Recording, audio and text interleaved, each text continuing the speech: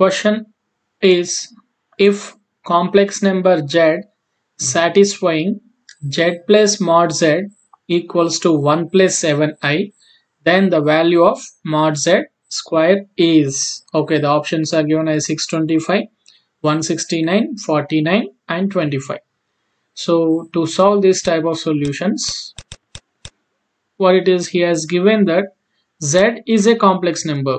If a complex number z. Now i'm considering a complex number z is equals to x plus iy then he has given the condition z plus mod z equals to 1 plus 7i so if z is equals to x plus iy then what will get mod z is equals to square root of x square plus y square. Okay.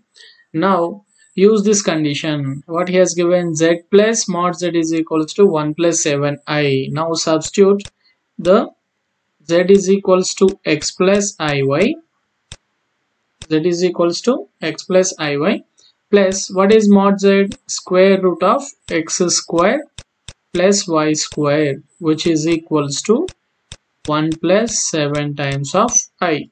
Now in the LHS separate the real and imaginary parts. What are the real parts? X plus square root of x square plus y square is the real part plus iota times of y is the imaginary part. Then which is equals to 1 plus 7i or i times of 7 okay 1 plus 7i or i times of 7 now these two complex number LHS is a complex number and RHS is also a complex number. These two complex numbers are equal. So if the two complex numbers are equal only the two complex numbers are equal only if the real parts are equal and the imaginary parts are equal then we can write this as x plus square root of x square plus y square equals to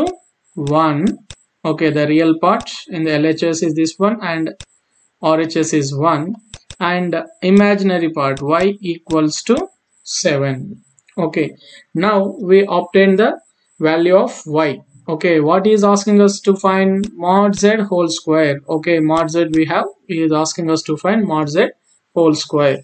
So now consider the first thing what we obtained over here x plus x plus square root of x square plus y square equals to 1 okay from this one square root of x square plus y square we can write it as 1 minus x. Okay 1 minus x. Now squaring on the both sides what we will get? x square plus y square equals to 1 minus x whole square so now we can write it as x square plus now what is the y value? 7 substitute over here x square plus 49 7 square is nothing but 49 and 1 plus x square minus 2x okay. So in the LHS RHS x square and x square will cancel out. Then we can write it as what it is? 49 minus 1 equals to minus 2x and 48 equals to minus 2x that implies we can write it as x is equals to minus 24 okay. Now we obtain the values of x and y where x is equals to minus 24 and y equals to 7 now he is asking us to find mod z whole square. What is mod z?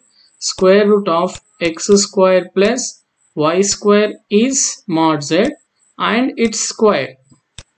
Now simply find out x square plus y square. So where x square equals to minus 24 square plus y square equals to 7 square.